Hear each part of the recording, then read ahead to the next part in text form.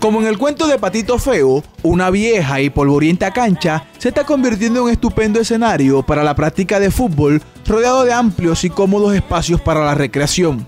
Es la cancha del barrio Las Flores, obra que está construyendo el gobierno departamental en la capital del Cesar para salvar a la juventud de fenómenos sociales adversos. Este es un proyecto muy importante porque en la ciudad no existen muchos espacios en donde los jóvenes puedan acceder a la recreación y al deporte.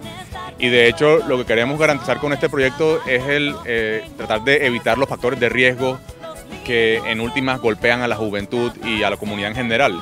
Principalmente nos, nos, preocupan los problemas de drogadicción, de alcoholismo, de embarazos en adolescentes y, el tiempo de ocio en los jóvenes, que ese principalmente es el, tema que tenemos que, atacar.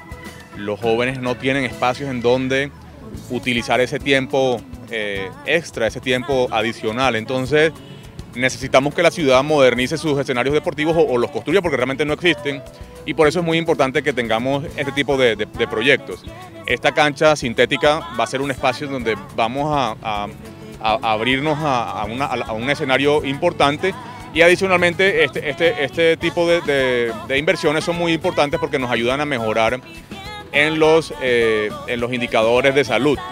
Ahora se construyen graderías y las bases para instalar una cancha sintética donde podrán formarse y entrenarse cientos de niños y jóvenes amantes al fútbol en Valledupar. Asimismo, habrá máquinas biosaludables para promover hábitos de vida saludables entre personas de todas las edades. En su visita más reciente, el gobernador Monsalvo confirmó que las obras llevan buen ritmo para tenerlas listas antes de terminar este año. Parte de los, de los ítems que más, más cuestan son los que se van a, colocar en la, última fase del proyecto. De tal forma que estamos eh, tratando de adelantar esta iniciativa para que la podamos estrenar para el mes de diciembre. La inversión destinada a la cancha de las flores es de 3.960 millones de pesos. Y así como esta, el gobierno Monsalvo Géneco está construyendo por todo el departamento obras que contribuyen a que niños y jóvenes practiquen distintas disciplinas deportivas y ocupen su tiempo de manera saludable.